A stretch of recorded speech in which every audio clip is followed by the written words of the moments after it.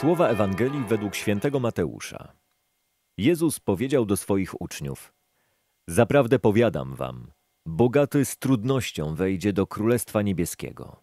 Jeszcze raz wam powiadam, łatwiej jest wielbłądowi przejść przez ucho igielne, niż bogatemu wejść do Królestwa Niebieskiego.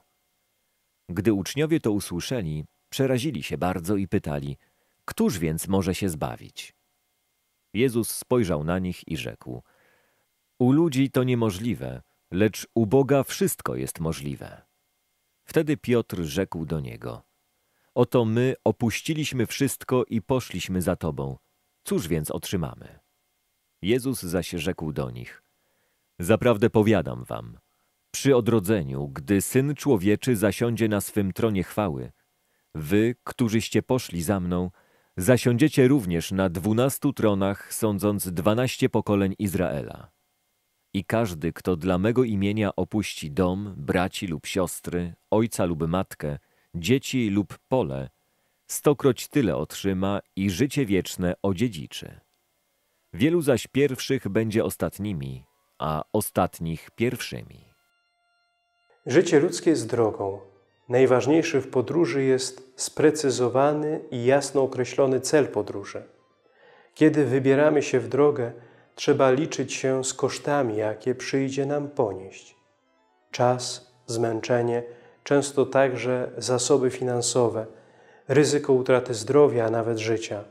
Wszystko to trzeba brać pod uwagę, ruszając w drogę. Droga musi kosztować. Oczywiście są i tacy, którzy wolą siedzieć w wygodnym fotelu przed telewizorem, a swoją drogę ograniczają do minimum.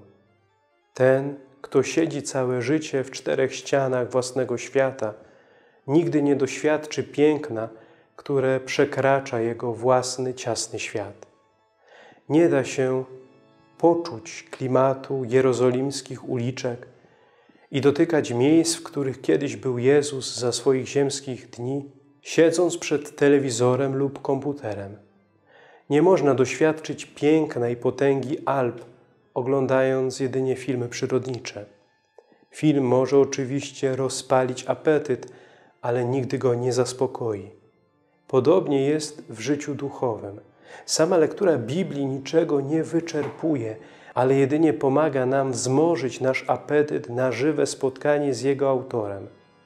Warto się zdecydować na tę podróż, gdy nagroda, jaka czeka tych, którzy dojdą do jej celu, przekracza nasze ludzkie wyobrażenia.